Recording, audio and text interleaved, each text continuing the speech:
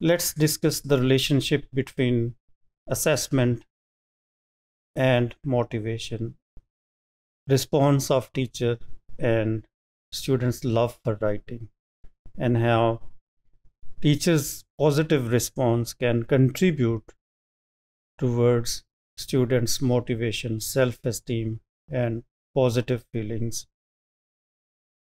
So, positive feedback, what the research suggests, and what you all might agree with me, has an integral relationship with uh, um, writing skillfully. So, it helps improve students' attitude towards writing. And I would like to put two examples here for your convenience to see what kind of written comments actually help students see things positively. The first example in commas, the part about the fire was really interesting. Can you tell me more about that? So, as you can see yourself, this sentence is quite interesting, motivating, and encouraging on the other hand if it were uh, like this your introduction is poor. So students might find this sentence quite vague quite demoralizing or demotivating. Look at the second uh, feedback comment. You wrote that the end of movie surprised you. What were you expecting? So this is actually kind of invitation to the students the teacher here is inviting students to reflect, to ponder, to think, to see things, what they have written, what else they could have written. So this kind of feedback is dialogic. It's called dialogic feedback, which invites students to come to the teacher and discuss, seek clarification, seek explanation. So this is how the feedback which propel students seek clarification or explanation explanation is considered positive and encouraging. On the other hand if we had negative feedback it might have influenced negatively upon the students.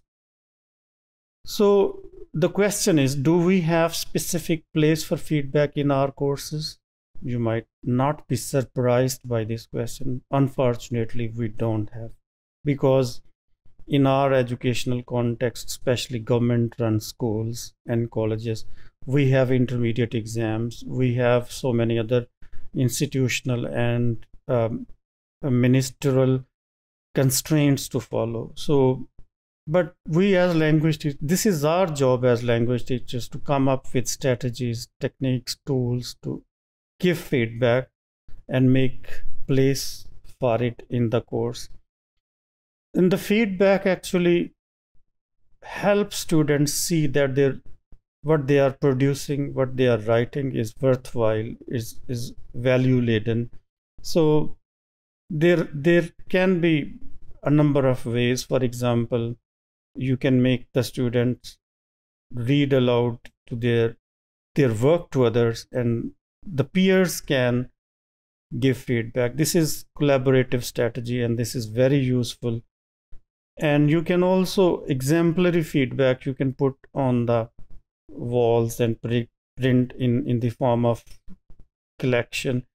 But i would give i would like to give a word of caution not to give uh, negative feedback in the presence of uh, so many other class fellows because that might engender loss of um, self-esteem and identity. So some students may not like the the praise so it's important to give them personalized and separate feedback. So feedback overall which is positive which is uh, clear which is specific which is brief helps improve writing skills of students by motivating them, by encouraging them, and it also helps them write speedily and effectively.